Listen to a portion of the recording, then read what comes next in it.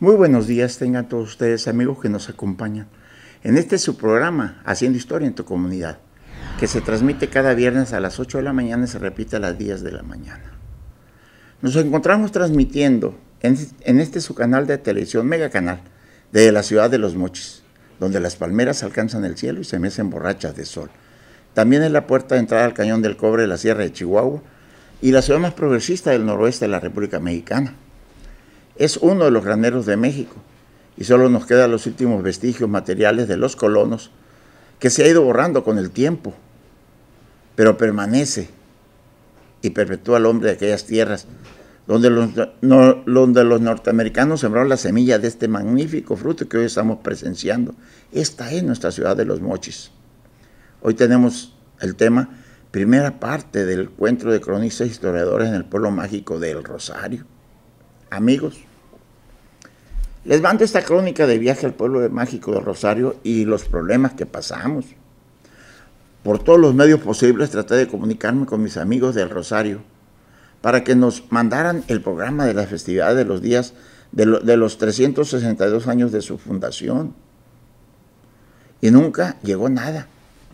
Me comuniqué con el teléfono, con el teléfono, el internet, Face y el WhatsApp Quiero en forma particular que no realizaron una programación de esta hermosa festividad. Pero en fin, todo salió en forma y excelentemente bien. Nosotros salimos de los moches a las 4 y 40 minutos de la mañana, directos a Mazatlán en un camión del norte de Sinaloa con un servicio más que excelente. Nos gusta viajar en esos camiones. Salió de Choice el cronista Israel Martínez Pereira, de Charay, J. Benito Guerra Prado y de Ahome, su servidor, Ernesto Gatica Moreno. Los tres íbamos muy cómodos por el horario, solos en un asiento. A dormir se ha dicho. En Culiacán sí se llenó el camión. Llegamos a Mazatlán a las 10.30 de la mañana y comentamos que nos, vamos, que nos íbamos a ir a desayunar hasta el Rosario. Correcto, dijimos los tres. Hace hambre, pero nos aguantamos. Tenemos muchas reservas cada uno.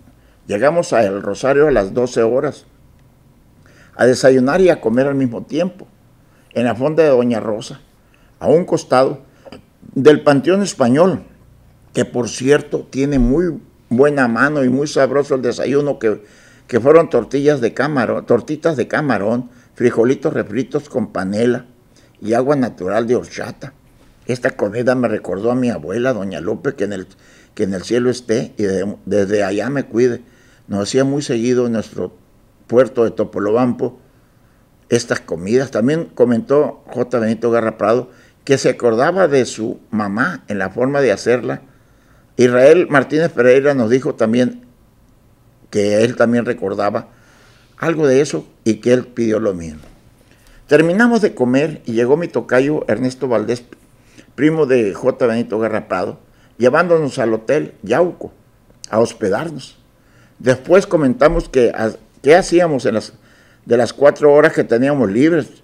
Benito quería ir a Escuinapa. Yo le contesté que no iría con él porque no nos alcanzaba el tiempo. Yo quería ir a la hacienda del Tamarindo para tomar algunas fotos y comentar su historia. Salió del cuarto y le comentó a Israel y él lo acompañaría. Ya fue mayoría, dos a uno. Pues nos vamos, dije yo, tomamos un taxi y el, taxista no sabía a dónde llevarnos. Le recordamos el nombre y llevamos a la mutualista a tomar unos refrescos ambarinos y a comer unos quesos de puerco, con unos camarones ahogados. Para llegar recorrimos esas calles que si no conoces te pierdes. Dice la canción de un juglar sonorense. Cuando vayas al Rosario no te vayas a perder por lo chueco de sus calles o el amor de una mujer. Los compañeros nos preguntaban dónde andábamos a lo que, y dónde nos encontrábamos le decíamos, nosotros ya estamos en el Rosario. ¿Qué iban a querer, iban a querer estar con nosotros? Nosotros llegamos a las 3 y cuarto de la tarde y nos vamos al hotel a prepararnos para el encuentro de cronistas en la tarde. En el pueblo mágico del Rosario ya son varias las veces que nos tocó asistir por invitaciones directas del cronista oficial, don Rafael Hernández Botier, que en paz descanse, y hoy es invitación por decreto de cabildos, que cada 3 de agosto nos reunimos todos los cronistas e historiadores estatales, asimismo por el cronista oficial Leopoldo José Hernández Botier, es la segunda vez con él En el cargo asistimos al, segundo encuentro estatal de cronistas en el municipio de Rosario. Ya habíamos llegado y hospedado el presidente de la crónica de Sinaloa, profesor Nicolás Vidal Soto, y su esposa Gis Barra. Con ellos llegaron Mario Alvarado Montenegro, su esposa. Salieron a la antigua cárcel municipal, que la verdad, como tiene historia, hay mucho que nos puede contar. Hoy en el Museo de Historia Regional, donde sería el encuentro de cronistas, no teníamos público. Pensé, ahorita llegarán. Éramos solo los pocos cronistas que habíamos llegado temprano. El presidente de la crónica de Sinaloa, profesor Nicolás Viales Soto, Mario Alvarado, Montenegro, los dos, los dos de Culiacán, Rigoberto Brito Osuna, cronista oficial de Concordia, Leopoldo Hernández Botier, cronista oficial, y Fernando Estrada Ramos, cronista junto del Rosario, Gilberto López Rodríguez, cronista oficial de Escuinapa, Joaquín López Hernández, cronista de Teacapán, Enrique Vega Ayala, cronista oficial de Mazatlán, se sientan en la mesa del presidium Leopoldo Hernández Gutiérrez y Fernando Estrada Ramos. Nos comentan un poco la historia del Cerro Yauco, ya que según don Rafael Hernández Botier es un lugar sagrado para los indígenas totorames. Es el Juya Aña, es el más allá, comentó. Que cuando le dijo estaba el doctor Jorge Macías Gutiérrez, cronista de Escuinapa, que en paz descanse. Y los, desmintió delante de todo el público hubo una pequeña controversia entre los cronistas. Eso no se tiene que dar. Los dos grandes cronistas y conductores de la historia regional y nacional ya no se volvieron a hablar mientras vivían por más que se disculpaban. ¿Cómo la ve usted todo esto que pasa? También nos comentó en aquellos tiempos don Rafael Hernández Botier que la placidez de la ciudad del Rosario, Sinaloa, donde él vio la luz primero hace ya unos ayeres, Está vigilado por el Cerro Yauco de 900 metros de altura sobre el nivel del mar al suroeste y el Cerro Cabeza de Caballo al noroeste con 590 metros de altura. El Rosario es muy bonito con su Cerro Yauco al frente, ciertamente. Pertenece al municipio vecino de Escuinapa, sin embargo, es el paisaje más bonito con su belleza, que está mirando y coqueteando hacia el Rosario. Eso no, eso no se lo quita a nadie. Quienes nacimos y crecimos ahí, nos embalsamamos mirando su imponencia y toda su forma y su, y su vida. Nuestros amados muertos se sienten protegidos de su descanso eterno por esta mole inmensa. Quienes no hemos aventurado por sus bosques, nos, hacemos, nos, damos cuenta de que los árboles allí crecen muy alto y ancho, y lo que vemos en las partes planas el paisaje del agua bajando de la altura hacia las tinajas formadas en la dura roca es fantástico. Tuve la fortuna de visitar las tinajas por una excursión de la escuela secundaria Maestro Julio Hernández. Ojalá las autoridades se fueran por cuidar y preservar el ecosistema para las generaciones venideras. Muchos romances empezaron en su camino al altar, sentados en la banca de la plazuela, teniendo como cómplice la silueta de ese gigante. El corazón rebosa de alegría cuando llegamos al norte. Miramos unos allá a lo lejos la figura venerada de ese testigo mudo del paso de los años y la renovación de las estaciones. Cuando vayas a la ciudad del Rosario no, lo dejes de admirar. Son 362 años de historia, los contemplan y miles de años más la vigilan de la altura por el Cerro Yauco. El Cerro del Águila, más pequeño en altitud, vigila la entrada norte de la ciudad y lleva un recuento de los asistentes a misas y la hermosa catedral, dedicada a la Virgen del Rosario y que fue construida por la fe del pueblo. Llegaron los compañeros cronistas de Culiacán, no tuvieron ningún problema ni para el traslado, incluso sobraron algunos lugares en el vehículo que les facilitó el titular de la ISIC, el PAPIC, por lo que solo no fueron quienes no quisieron o no pudieron. De 12 lugares, solo 5 personas más el chofer venían. Todos venían con los gastos pagados de la gasolina y los puentes. Al cargo de la camioneta venía el secretario de la crónica sinaloense Francisco Padilla Beltrán y prospecto a cronista oficial de Culiacán. Parece ser que ya se le dieron, dieron falta nomás el papelito que lo acompañará y en ese momento lo acompañaban Nicandro Raimundo Favela Bañuelos, cronista del río San Lorenzo, Luis Antonio García Sepúlveda, cronista adjunto de Culiacán, Ricardo Santos Aldana, cronista de Cosalá, Sergio Usárraga Acosta, historiador de Culiacán, llegaron solos y en camioncito Antonio Valenzuela Misquis y Juan Ramón Aguirre Zamora de Culiacán.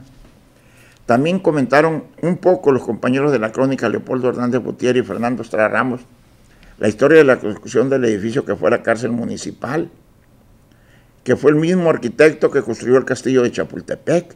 ¿Cuál de los dos sería el primero? Fue Francisco Bambrilla, el teniente coronel del ejército español e ingeniero, quien elaboró el proyecto, o el capitán Manuel Agustín Mascari. Yo no lo sé, pero eso están anotados los dos. En ese momento llegaba el presidente municipal, doctor Manuel Antonio Pineda Domínguez, y el secretario, licenciado Maximiliano Mora Uribe, pasando a la mesa del presidio, siendo acompañado por el presidente de la crónica de Sinaloa, profesor Nicolás Villales Soto, y el cronista oficial del Rosario, Leopoldo Hernández Botier, y la señora presidente del Pueblos Mágicos. El cronista oficial del Rosario nos dio, nos dio la bienvenida y nos agradeció nuestra asistencia. Ya para entonces nos encontramos todos los cronistas y algunos pocos habitantes de la comunidad que son amantes de la historia la verdad, faltó más difusión e invitaciones al, segundo encuentro por parte de la misma autoridad. Mi respeto para el presidente municipal de doctor Manuel Antonio Pineda Domínguez. Nos dio una verdadera cátedra de sus muchas habilidades y conocimientos de la historia en su municipio, que con amor y pasión nos deleitó a todos y lo escuchamos con mucho interés. Con qué facilidad lo realizaba y nos explicaba es la primera autoridad de un municipio en los tiempos que andamos recorriendo el Estado con esos conocimientos que se da cuenta y que nos damos cuenta nosotros de la importancia de la enseñanza de la historia y el papel que juegan los cronistas e historiadores estatales, siendo las 4.35 minutos de la tarde, dan por iniciados los trabajos. El presidente de la Crónica de Sinaloa, profesor Nicolás Villales Soto, agregó que el presidente municipal, doctor Manuel Antonio Pineda Domínguez, por tan elocuentes conocimientos y le dice que deberá formar parte de la crónica sinaloense. Se retira de la mesa y del lugar por sus múltiples funciones que tiene, quedándonos de, quedándonos de ver en la tarde-noche en el programa cultural. Dan inicio las mesas de trabajo, presididas por el presidente de la Crónica de Sinaloa, profesor Nicolás Villales Soto, y el secretario de la, crónica sinaloense Francisco Padilla Beltrán. Pero lo que, lo que sigue en la segunda parte de los cronistas del Rosario, Pueblos Mágicos, cuenta con muchos otros elementos que son de gran relevancia e importancia, digamos, de ser pregonados con orgullo. En gran medida las autoridades son los responsables de la poca valoración del legado histórico de la población que representan, tan ocupados siempre en sus frivolidades y en el paso político que siguen poco caso hacen de estos menesteres. Si acaso medio cubren el compromiso, pero siempre tan pobremente que pena ajena dan, aunque los propios rosarenses cargan con parte de ese desequilibrio. Hoy no será ese pensamiento, será un cambio radical que se dará en la forma tan elocuente de expresarse y comentar la historia del presidente municipal, doctor Manuel Antonio Pineda Domínguez. Pero no nos adelantemos, vayamos paso a paso y llegamos al curso oficial de los acontecimientos históricos que le ha dado forma y vida a la tercera población de Sinaloa en recibir el distintivo pueblo mágico de Sinaloa. Muchísimas gracias por su atención. Nos vemos el próximo viernes.